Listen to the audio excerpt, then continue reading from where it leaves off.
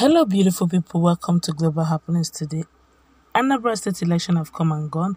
A winner has emerged, and none other than Professor Soludo has been declared the governor elect. But right now, there seems to be a lot of disagreement going on over the issue of finances. Already, a lot of people are beginning to point fingers, but Soludo is trying to start, or is already starting on, even though he has not been fully inaugurated, but he started on on high. A lot of squabbles are going on. In a moment, I'm going to give you full details, what is going on, what Nigerians are saying, what is obtainable. Like you subscribe to our channel by clicking on the red subscribe button. Beside it, you see bell notification icon. Please go ahead, click on it to get notified as soon as we update our channel on YouTube. What the Anambra State Governor, Chief Willie Obiano, and the Governor-elect, Professor Charles Chukwuma Soludo, may have disagreed on the size of the budget for the inauguration and handover on March 17, 2022. According to the news, the government budgeted about 500 million naira for the program, which will cover making customized clothes, caps, banners, t shirts, and even hiring of rainmakers. But Soludo was said to have advised the governor to cut the budget down as he preferred a low key ceremony. He reportedly asked Obiano not to commit money in such flamboyant venture. Soludo nearly spilled the beans in his speech during the inauguration of the 80 member transition committee as a last Thursday when he said that there won't be a fun fair during his inauguration on March 17.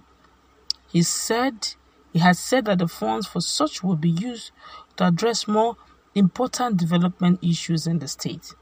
To demonstrate that he attached no importance to flamboyant handover handover ceremony, Soludo also said he would move from the inauguration venue to his office and from there to the slums in Onitsha and environs, particularly Okpoko community, where he plans to clean up. He had said, I'll be heading to Okpoko immediately after the inauguration. I will put in eight hours of work immediately after the inauguration. Don't expect fan fanfare because it won't take place. Another area of contention is the venue of the inauguration. While Obiano wants to use the inauguration and handover ceremony to showcase the newly constructed International Conference Center, my source said Soludo preferred a low-key handover to take place at the Executive Council Chamber of Government House, Awka. It was also learned that as he is being sworn in, Soludo would have had the list of his commissioners who will be screened by some members of the transition committee, the caliber of Dr. Oby Ezekwesili, Professor Pat Utomi, and few others before they are taken to the House of Assembly for final screening. It was also learned that the over 3,000 executive assistants, special assistants, and senior special assistants scattered all over the world may not find favor with Governor Soludo's administration. It was learned that a family in Obiano's hometown has up to 31 executive assistants, special assistants, and senior special assistants, while another family has 27 members in the same category. This is coming from Daily Independent. All right, but Nigerians also have decided to react. This is um talk about economics talking now, and this is what governance is all about, not flamboyancy. But then let's find out exactly what Nigerians are saying. This one here is saying, "Let Soludo keep quiet. Being a governor does not mean you cannot be impeached." Remember Ngige and Co. This was how Buhari was proven to be saint. This one here is saying, "Hold your breath. Soludo is not Buhari." Leave Soludo alone if you know nothing about him.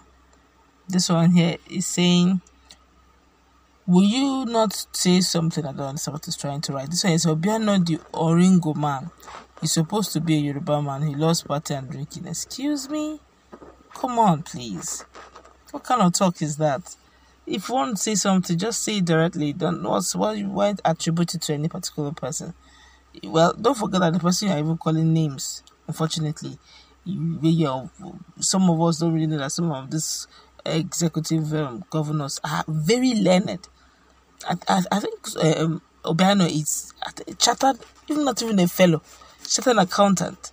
So he's not he's not illiterate. He's not a school cert holder. The guy went to four walls very well. He's fully learned. He's exposed. Maybe the nature of the corrupt system of the country have allowed some laxity here and there in some parts of governance, not necessarily his generally as a whole in this country.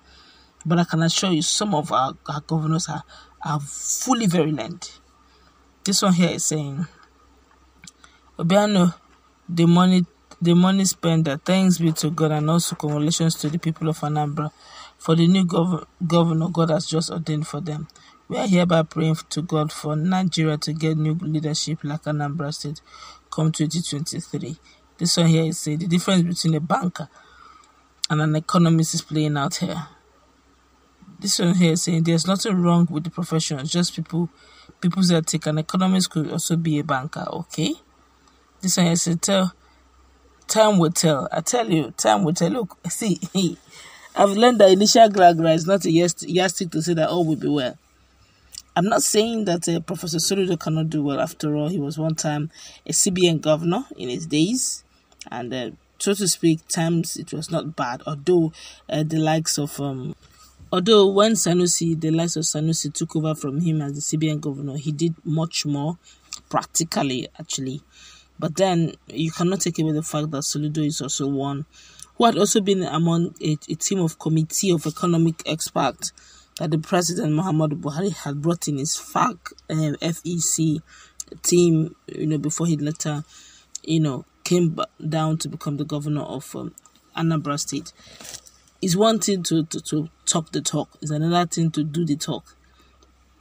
Don't forget that, um, like one person said, he can be impeached, okay? But if he performs well, why would they want to be impeached? I guess already he's beginning to see because if by the time he gets into the seat and there are uh, no money in the coffers or little money in the coffers to begin to pay salaries, he's beginning to have issues already because coming in and paying arrears or coming in and having debt to compile uh, uh, uh, debt compiled for you is not a good start. So I guess he's trying to see as much as how he can cut as much money as he can, okay, to start on high. I have learned not to, you know, judge a book by its cover all right. I also have learned over time not to look at somebody's on face value and judge him. He may do far, far better than Governor Biano, good for Anambra indigents and Nigeria as a whole. He may also not, he may even do below par by uh, Obiano. Also, it's it's part of it's human nature. It's it's all all part of um, the ethics, man's ethics, his belief system. Okay, if he comes up with the belief system that he's coming to redeem his people, Mm, and also see how it can improve Anambra, the, the life of Anambrans. The well, beautiful Anambra is blessed. But I've learned not to be too quick to judge anyone. Like the, the last guy said, time will tell. I wish them all.